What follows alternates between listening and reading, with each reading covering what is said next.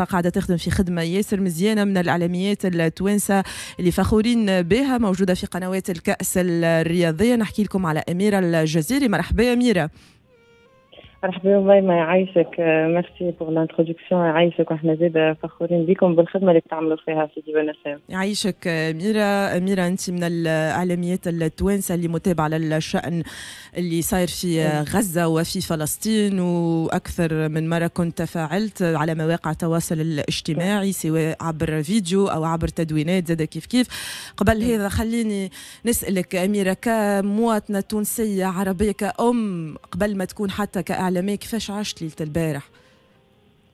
والله ليلة البارح ليلة صعيبة برشا كنا بكينا بكينا برشا وتعبنا برشا خاطر كما قلت معناتها توا حكيت على قطع الاتصالات بالكامل واللي غزة وحدها الغزة للأسف معناتها مش كان البارح وحدها غزة سنوات قاسي وحدها اليوم 21 يوم العدوان الإسرائيلي على اخواننا في غزة 21 يوم كما قلت من الجرائم الأبشع على الإطلاق في حق الطفولة والإنسانية للأسف اليوم شاهدناها مباشرة من ديارنا وحسينا بمدى ضعفنا ووهننا حسينا قديش إحنا ما نجموا نعملوا شيء حسينا مدى عنجهية وقوة الكيان الصهيوني ومدى احتقار وتجاهل الموقف الأمة الإسلامية وحتى ردة فعلهم. وربما أميمة هذا التجاهل هو في حد ذاته رسالة تعبر عن العجز العربي والقومي الإسلامي. اللي نشاهدوه اليوم.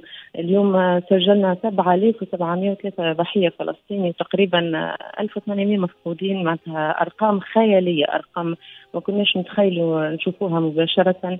البارح تم قطع الاتصالات بالكامل عن قطاع وتم اجتياحه ليلا للأسف عن طريق البحر والجو والطيران معناتها كان كان اجتياح ظالم وإجرامي جدا صراحة. معناتها حتى الحقيقة حتى كي نحكي عليه والله قلبي يوجعني وأنا متأكدة للكل معناتها مانيش وحدي متأكدة للعرب الكل والتوانسة الكل عايشين نفس نفس الغمة نفس الوجيعة. والإحساس بالعجز خاصة. آه. الاحساس عجز عجز, عجز الإحساس بالعجز هذاك هو اللي يوجع أكثر واللي يقهرك واللي تحس روحك ما قدامك حتى شيء كان إنك تدعي وتطلب ربي انه إنه يفرج على الفلسطينيين وينصرهم.